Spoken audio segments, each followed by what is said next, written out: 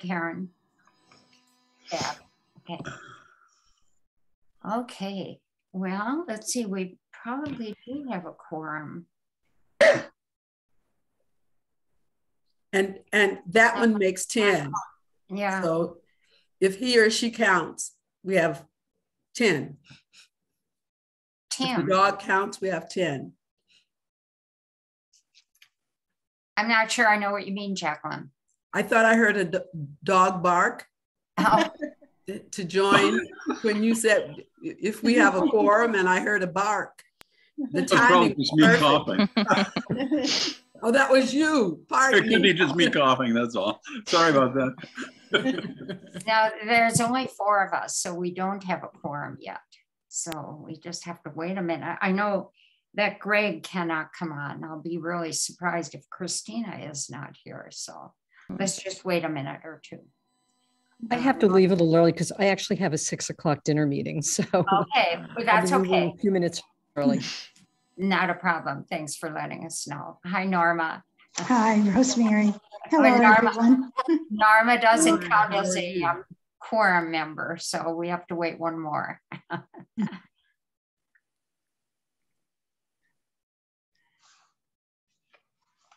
So is it raining in the um, North Amherst? It's raining. It just started raining here. It just started here.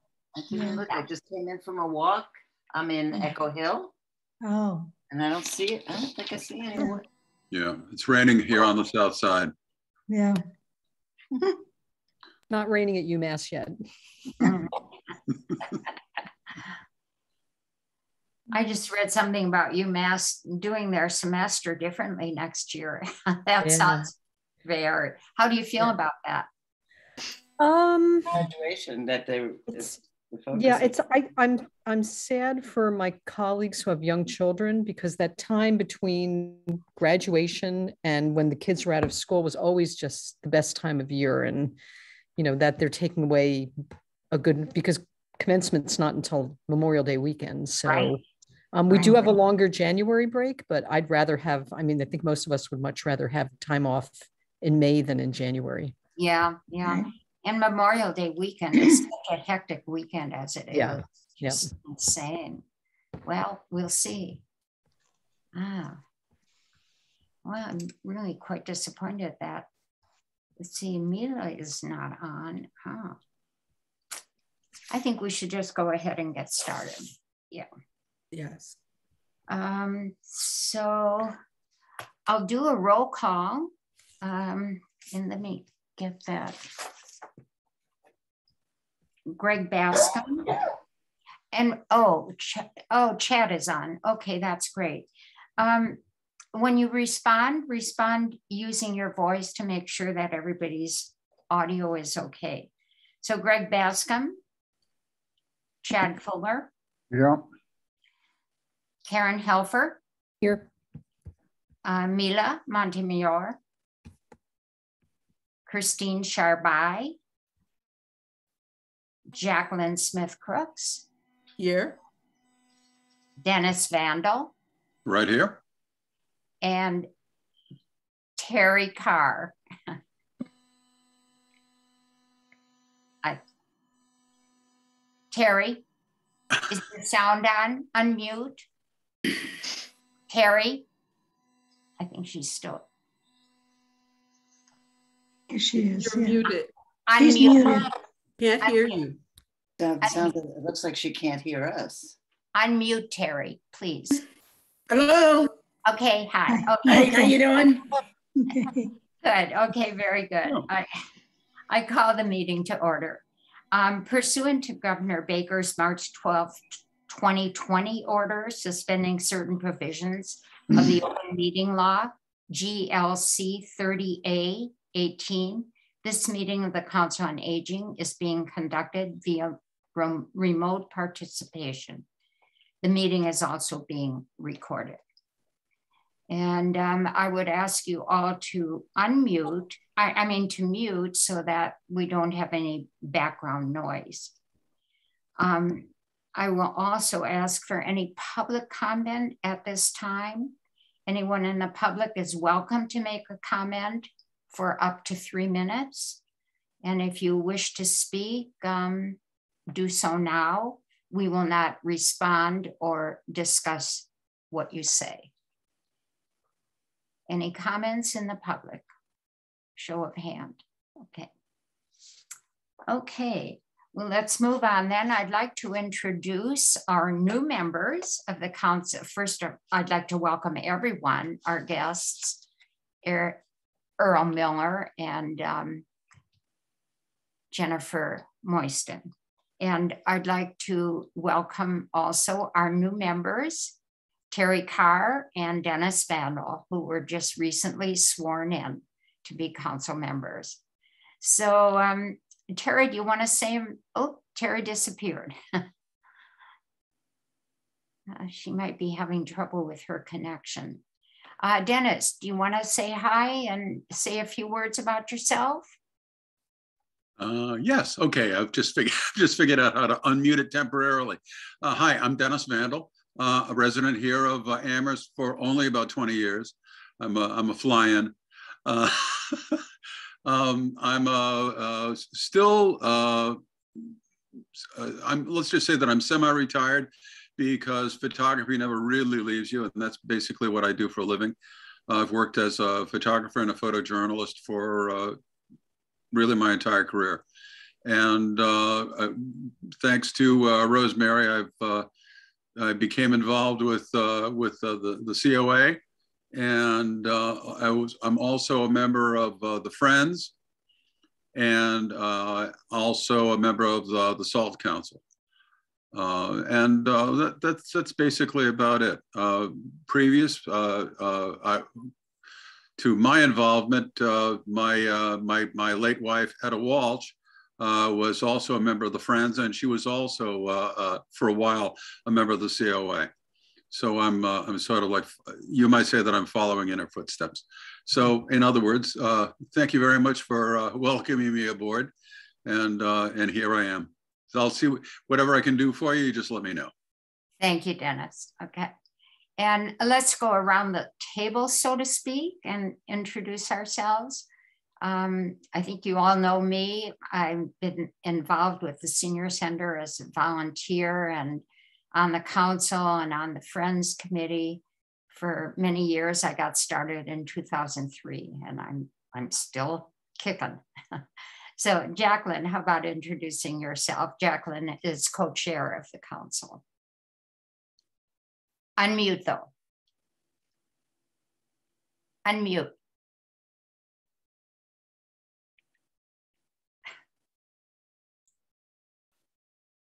Jacqueline Smith Crooks, and I'm uh, on the council with Rosemary, and I uh, am co-chairing.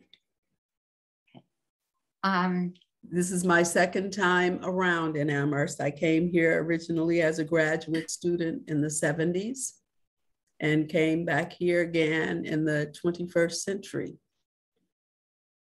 We're happy to have you back. Some years. Yes, thank you. Okay. And um, Karen, how about yourself? I'm Karen Helfer. I'm a relatively new member of the council. I think maybe since January. I've been, I'm a longtime resident of Amherst, 20 something years, uh, and I'm a UMass professor also. And uh, Terry, as our other new member of the council, if you can unmute and just tell us a bit about yourself. I'm Terry Carr. I've been in Amherst about a year and a half. I'm from Northampton originally, and I volunteer at the Senior Center. So I get a lot of background info from there. And I'm happy to be here. Thank you. And Terry is also secretary and does the minutes for us.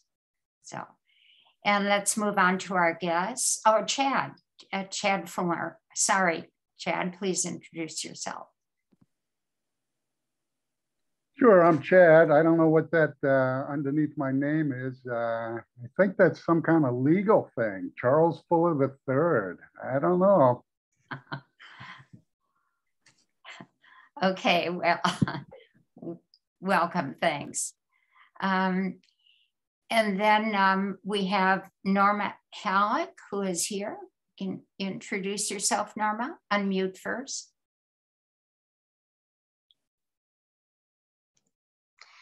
Hello, I'm Norma Halleck and I um, served on the board for almost six years until they changed the rules about you had to be a member, uh, live in the in this town and city of Amherst. So um, I am involved with the Friends on their board, and I used to do blood pressures um, on Tuesdays at the senior center and volunteer when I can to help out with functions or um, um, yeah, well, help out with functions.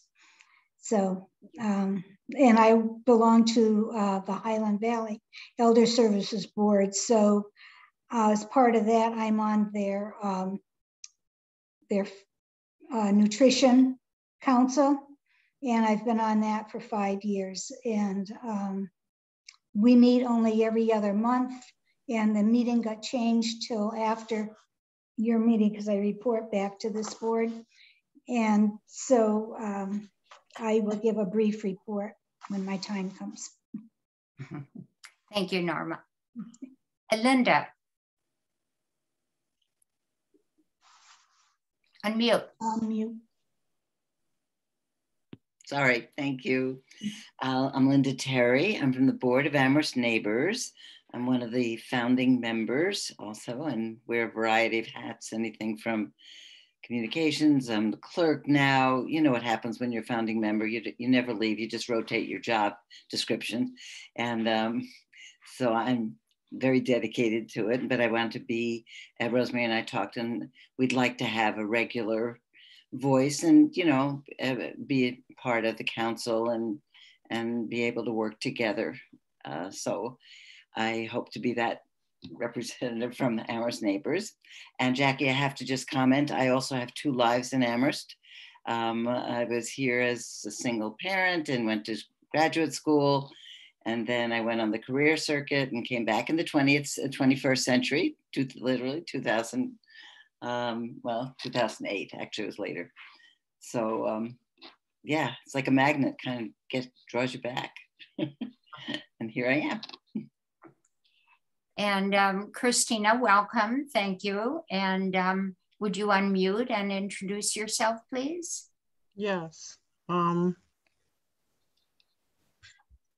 I'm Christina Sharbai, and I just had a frantic run because I got out of work and I had to go to two stores. So I'm like, I don't even know where any of my cell phone or anything is right now. I'm frazzled, but um, I live here in Amherst um, for 30 somewhat years. I came from Brooklyn, New York. Um, I work two part time jobs um, and um, I enjoy civic engagement and I'm active member of the African American Church in Amherst called Goodwin Memorial. And um, I am honored to be on this committee and hopefully um, enjoy my time and do some constructive things. Thank you. Okay. And then we have um, special guests. Um, Jennifer Moyston is here from the town. If you want to introduce yourself, Jennifer. Oh, good afternoon, everyone. My name is Jennifer Moyston. I'm the Assistant Director of Diversity, Equity, Inclusion here for the town. I've worked for the town for about almost nine years next month. It'll be my ninth year. Um, I've lived in Amherst for about 40 plus years. Um, and I remember volunteering at the senior center when I was like 11 or 12, and I, you know, I helped my mom deliver Meals on Wheels. So um, I'm here to help and support you guys and in any way that I can. And it's an honor to be here. Thank you. And I recognize most of you, so hi. And Earl Miller. Hi, everyone. I am uh, the newest to town. I've only been here for four weeks, so I think that puts me in the minority. Um, I'm the director of the new Community Responders for Equity, Safety, and Service program. So it's a wonderful once in a century opportunity to start a new public safety department. No pressure. Um, And so four weeks in, we're we're we're trying to build something that everyone will be happy with. So you can imagine that's uh that's tricky, but it is my dream job. So I'm really glad to be here with you all. I, I think about this all the time, and I'm I'm looking to be a good partner with you all. I have two daughters, uh, Valencia and Carmelina. You will see the little one here in the summer. Her name's Valencia. Uh, I expect she'll want to hang out at the senior center. That is her crowd. Uh, so I'm looking forward to spending time with you all. Thank you. And we look forward to hearing, hearing about the CRESS program. And I'm afraid Haley just disappeared, but she is uh, probably the most important person to introduce. She is the Director of Senior Services, so she'll be back. So let, let's move on. Actually, um, Haley is the first up on the agenda, as a matter of fact. So I wanted her to give you a report what's going on with um, at the senior center and the activities. So when she comes back, we'll have her do that. But in the meantime, um, Jennifer, can you talk to us about your program that um, on diversity and, and inclusion? So currently right now, you know, this is a new department for the town, similar to CRESS being a new department, um, and we're waiting for the director to be hired.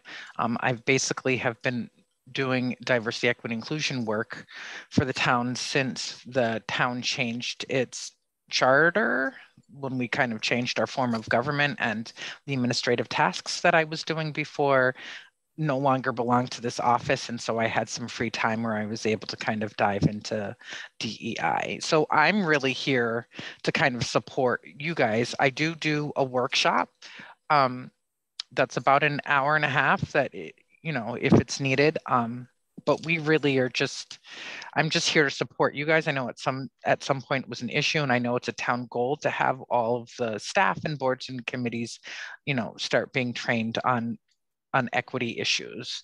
Um, so I'll just leave it there and see if anyone has any questions or if there's anything anyone wants to say.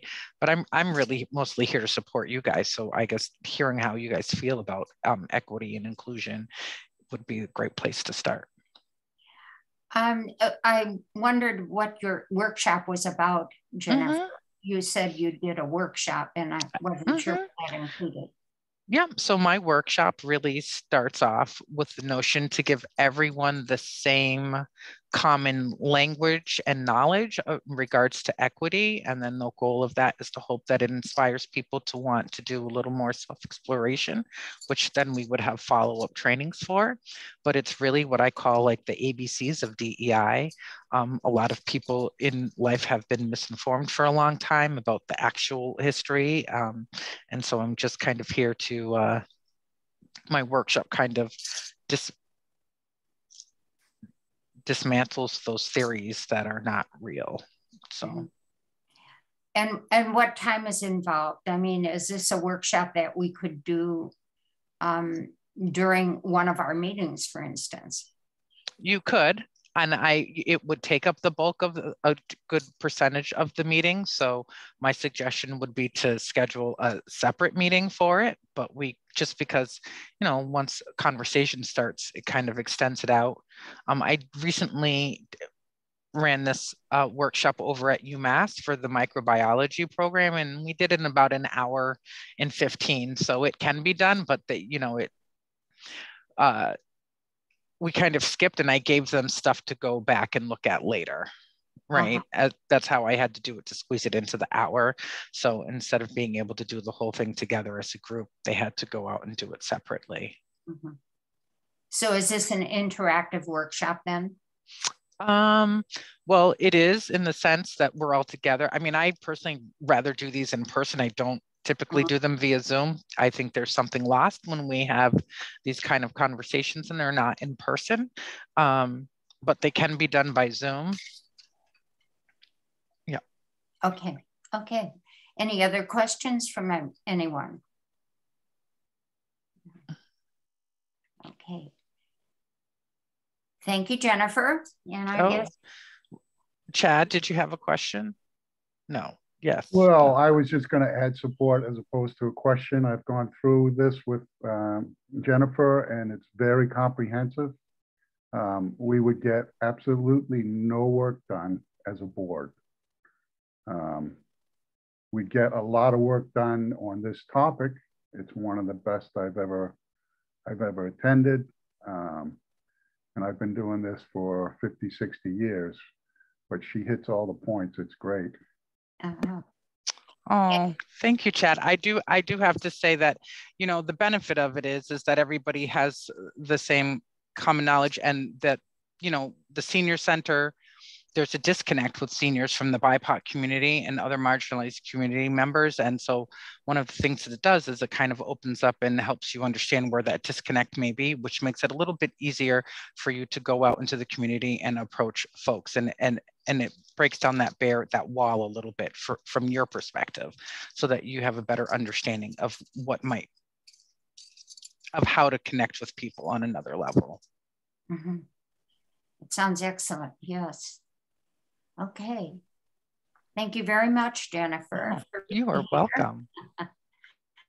okay, and um, I don't see, um, I see that uh, Haley hasn't reconnected with us yet. And unfortunately, Terry Carr keeps losing her connection as well. So um, I'd like to move on then and um, have Earl tell us about his program in uh, CRESS, Community Responders for. It's a mouthful. Don't worry. It's going to take you a while. It's not as catchy as fire department yet, but we'll get there. Uh, community Responders for Equity, Safety, and Service. Um, this was the department the town set up in response to, you know, in large part the murder of George Floyd and, and Amherst being an action oriented place really did um, develop this thing. So there's been this two-year work uh, plan. I'm sure some of you have seen it or been involved. I know certainly Jennifer has um, to develop this thing. Um, just tell you a little bit about myself, uh, I'm from Holyoke. I spent the last four years at the Department of Mental Health um, working as a director of recovery and employment services. So um, this is it's interesting. Uh, I think sometimes people think town stuff moves slow, but compared to the state, it feels like rocket speed. I, don't know that I've worked this fast in uh, in a long time. Um, what we're doing right now is really building up the infrastructure. Uh, CRESS is going to be 10 folks when we start. Uh, me, a program assistant, and then eight responders. Um, I know there's been some concerns, particularly from the senior community, that um, does this mean the police won't show up if I call 911? Promise you, the right people will show up. We don't fight fires. We are not, we don't have any of the mechanisms police have. Um, but really what this is, is that, you know, frankly, not all 911 calls require the police or fire department to show up. And right now they, they do show up to those things, but often, um, you know, it, it's it's taxing on them doing the work that they they really do on a daily basis, and um, so we'll be doing that. Um, we're just starting, so uh, my commitment to folks is that by mid-June we'll be out on the streets patrolling to some degree. Come July, we'll be full bore, and um, you'll be able to reach us both through 911. If you call 911, some calls will be routed directly to us. Uh, it may be that the police and us show up and then we'll show up and figure out who's the right person, or maybe it's a combination. The town isn't losing anything. You're gaining a whole nother department that can do things like kind of stay and do the meaningful support. Um, be invested. Jennifer is working with us. Um, if you want a chance to engage with us, we're going to come to where you live. Uh, if you live in an apartment complex, and if you don't, we'll make sure you get to come join us at one of those. Uh, we're going to bring some food, uh, break bread with folks. And, and the reality is we're still building this. We want your input. Um, this will be in the Bangs Center. So we're going to be uh, good neighbors. Uh, we went to a tulip painting class, me and my implementation director Abdallah last week. We're not very good at painting, but we sure did uh, do all the stuff but painting. And um, trying to think if there's anything. Oh, uh, I would I would uh, be remiss if I didn't mention tomorrow we're doing a cup of Joe uh, over at the senior center. Feel free to come over and have some coffee. The other piece I just want to say is this is new and new does not always feel really good. So if you have a question or you know, hey, what is that guy doing up there? How do I learn more? I want to answer your questions and sometimes I learn more from people asking the question than trying to answer it. So if you're thinking of something, I want to hear it. You guys have a, a, tremendous amount of wisdom. If I can, if you if, if I can, I'd like to learn from some of it to maybe avoid some of my own mistakes. Uh, and if you see me walking into a land a landmine, uh, stop me. So if you see something happening with CRESS that, that feels like it's not working for you, um, I, I, I, this program is more important than me. So I want to hear from you. I want to get this right. You deserve to have this work. Um, we're going to be the first of these programs to open up in New England. So Amherst is going to be on the, the map. We're going to be first. We're going to aim to be best. Um, I don't know what best looks like right now, but we're going to dig as deep. The police department here is, I think, one of the best. The fire department here is one of the best. We have a high expectation level to reach, and uh, we might not get there on day one, but I promise we'll keep going until we do. Um, so, so that's really, uh, I'm, this is, like I said at the beginning, this is my dream job. Um, I, I, I think about this all the time. Uh, it, the last time there was a new public safety department was the fire department in about 1880. So uh, this opportunity doesn't roll around too often, and uh, and I'm, I'm I, I, do not forget that. And we're gonna uh, people ask what is the role we'll have with seniors. You'll define that for us. The community will tell us what we need to do, and we'll be responsive to that. So glad to answer any questions. And obviously, we're going to be rolling this out, so this won't be the last time you get a chance to ask a question. So does anyone have any questions? Couple hands up. And unmute if you do. I do have a, a one question. You said that there would be uh, 10 people altogether, one assistant to you and eight responders. What is the role and what is the title of each responder going to be? So the community responders are one role. Um, initially, there was some thought that we would differentiate them by some would be behavioral health and some would be community responders. Actually, we know from looking at like the fire department, everybody has to be able to do the work when they're on. So it's a little bit more of a generalist approach. Those community responders, all of them, their role is to respond to needs that they find in the community, to look at disparities. So people who may not otherwise be uh, feeling very connected to the town. Um, and, and we're still figuring that out. So uh, the big thing I would say is they're all going to be community responders, but you should know them by name. There's only 10 of us. Um, so the other piece is I wouldn't worry so much about the title. Once we get the people, I'll make sure I bring them around and you get to look them in the eye. Tell me how you feel about them. And their background, they would all have similar type background? We haven't hired all of them yet, but hopefully not.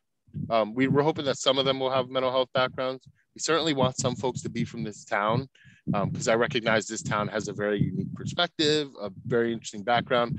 Uh, one of the things we're committed to is really a diversity of views. They're all going to get very intensive training. We have two months of training they're all going to go through.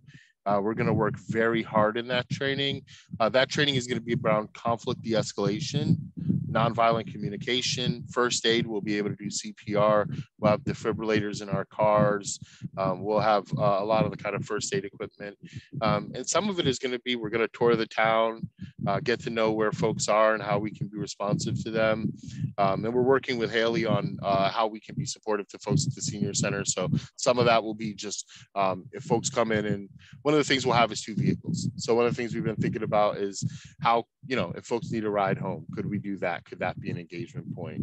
Um, we'll be at the library helping to close down the library every day um, so that the librarians can be librarians uh, and it also give us an opportunity to meet those folks. So I, I don't think we're quite so concrete yet on what it'll look like. We're, we're wanting to be flexible so that we can meet the need. Um, but what you can count on is that they'll be respectful, they'll be knowledgeable in the things that they do, um, and they'll be curious about what you think we can do better. So you, we're going to build this with you all. So you tell us what we need to be experts at, and we'll work towards it. And I imagine that you will not be responding to people on campus, for instance. Is that separate from town or? I, so I think right now, prob that I think right now, yes. Uh, we haven't actually, I haven't met Dammers, uh, the UMass PD yet, so we'll talk to them. I think with eight folks, we'll really be looking at the kind of uh, town stuff. We'll, we'll have our hands full with just that, but um, we certainly hope to spread the idea. I would say at the start, we'll be um, working with them. If there are students though living in the community that we can serve, um, kind of our motto is we don't have an age we serve, we don't have a type of person. If someone resides in the borders of Amherst, uh, we'll work with them if they want us to. Are there other questions from anybody? Yeah, where's the cup of Joe? What time? That's a good question, Christina. It's it's 8:30 tomorrow. It's at the Bangs Center. Uh, Haley can tell you what room it is because I've only been there a few times. Um, the town manager will be there. He's a pretty great guy too. Um, and we will have coffee and I hear pastries. Although if there are not pastries, uh, I don't want to be blamed for that.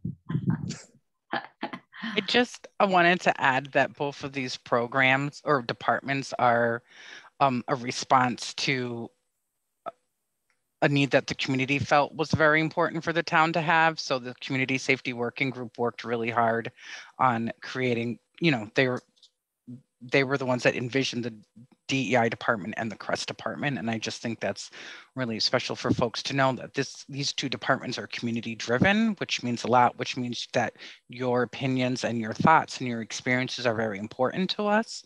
Um, so I just wanted to add that piece in there. Mm -hmm. Thank you. And Chad, I see you have a question. Yes, I was wondering, um, it's actually two questions in one. Um, if the uh, staff will have any disaster mental health training or experience uh, along the same lines, would you advocate for a community resilience center? Um, we're starting to get into the earth changes and um, there's going to be some big things happening there. Yeah, Chad, that, that actually was one of my specialties at DMH. I was the emergency management director. If you look in my car right now, I have a, about a 20 pound box of disaster behavioral health training manuals. Um, so we will we will do that. Um, we will um, work with folks who are recovering from any sort of disaster, fire, a natural disaster, whatever. Uh, we will be prepared for that. Um, and uh, I'm in favor of this town growing uh, resources for folks. Uh, I think having a space where people can go, it's obviously so meaningful at the senior center for folks to have a place they can go to feel safe.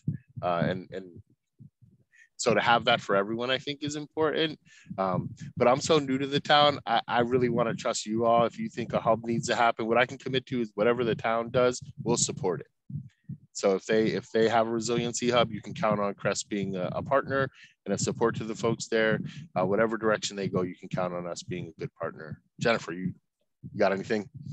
I, I just I forgot to mention that he that Earl had mentioned the community outreach efforts and that we will be going to different neighborhoods and in apartment complexes. And I remember at one point we did this and I believe it was Amherst neighbors that attended, but it, it, was very nice and it was a good way for folks to intermingle because some people aren't aware that the senior center exists or that it offers the amount of programming that it does or even that Amherst neighbors exists, which is another, you know, um, a uh, another resource for our seniors. So when we come out with these dates, we'll make sure that we get them to Haley because at the same time that we will be, you know, uh, really pushing out CRESS, we want it to be all inclusive of all the other town departments because those, res- you know, it's they're resources for folks who aren't connected. And it's so important that people who aren't currently connected know that the resources are available to them. The other thing I just want to add is if invite me over for coffee. Like I want to, if I want to sit down with you all and have these long conversations because this is an exciting opportunity it does not come around that often. We live in exciting times.